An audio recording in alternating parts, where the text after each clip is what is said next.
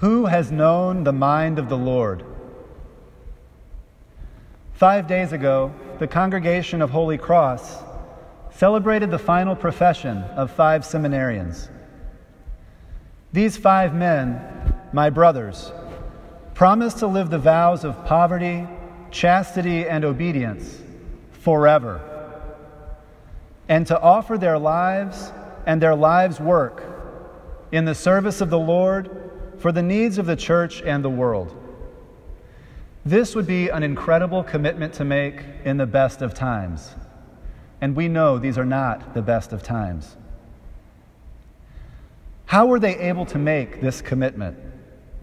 Could they have somehow found a way to know the mind of the Lord?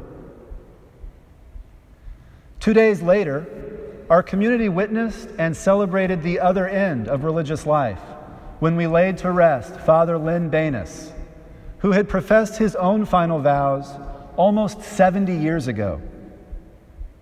He lived his life poorly, chastely, and obediently, and yet with great zeal and great joy. The best proof? At age 91, he had not yet gotten around to retiring. Surely, Father Banus, at some point in those 91 years, came to know the mind of the Lord. Right?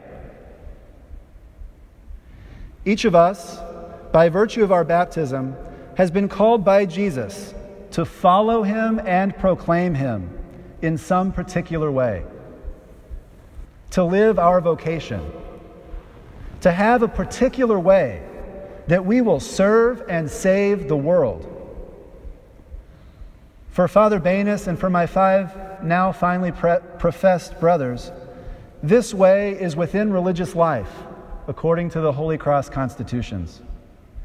Each of us, though, must figure out the will of God in our lives.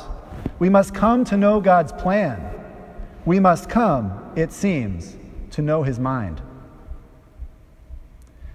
But St. Paul tells us tonight that we cannot know God's judgments, his ways, or his mind.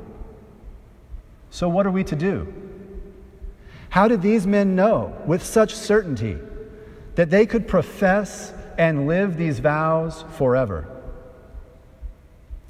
The answer lies not in deciding to, but in discerning. Although discernment is often used as a spiritual synonym for decision making, discernment asks much more of us. Decision implies weighing options, considering alternatives, making a definite choice at a point in time, and then taking responsibility for the consequences. Discernment begins similarly. We weigh and we pray our options, and we do make a decision.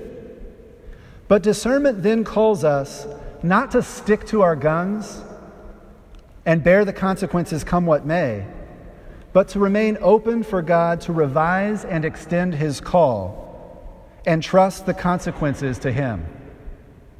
This is the hard part.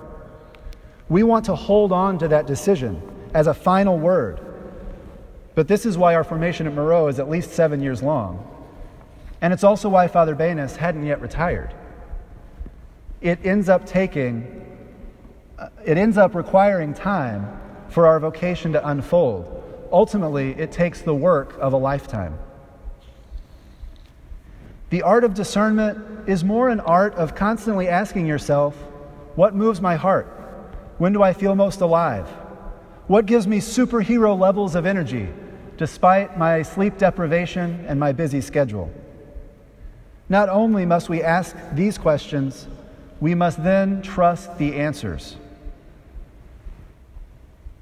If you saw the second Incredibles movie this summer, you might have wondered why none of the characters aged. We were waiting for 14 years for this sequel. The reason is because the superpower of each family member is actually supposed to represent the stage of life of that character. Jack Jack has countless powers to represent the boundless possibilities of youth. He's not yet learned what power he will be given to serve and save the world. At the outset of this semester, each of us is like Jack Jack. There are countless opportunities and possibilities ahead of us. You may opt to approach the year as the next step in a decision you've already made and go the way that you've already decided. Or you may be tempted into trying to keep all of your options open until you can absolutely know with certainty the mind of God. Unlike Jack Jack, though, we don't have the luxury of waiting. Alternatively, you may approach the year as a way to find out what surprising way God will set your heart on fire and ask how you will hear that call that arises up from within as from His Spirit. If you can do this, you will come to learn to depend not upon the mind of God, but upon His Spirit. And His Spirit speaks the language of our hearts.